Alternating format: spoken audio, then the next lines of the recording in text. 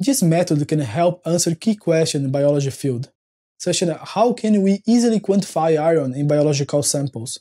The main advantage of this technique is that it's easy to reproduce and is a very precise colorimetric technique. While performing this technique, you should avoid iron contamination. Visual demonstration of this method will help you to understand its different steps.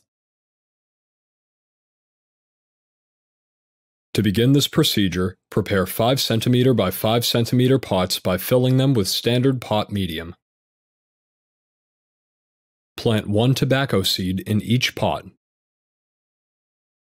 Transfer the plants to a growth room that is at a constant temperature under long day conditions of 23 degrees Celsius.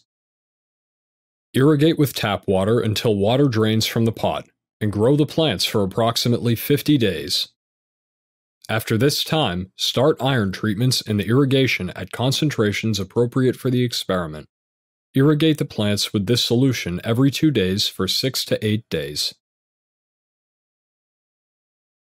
Then, detach the leaves from the stem by hand, making sure not to use any metal equipment. Using a spray bottle filled with double distilled water, clean each leaf. Dry the leaves on a paper towel, and then transfer them into a paper bag. Place the leaf-filled bags in an oven set to a constant temperature of 80 degrees Celsius for 2 to 3 days. Clean the mortar and pestle twice with a 4% hydrochloric acid solution.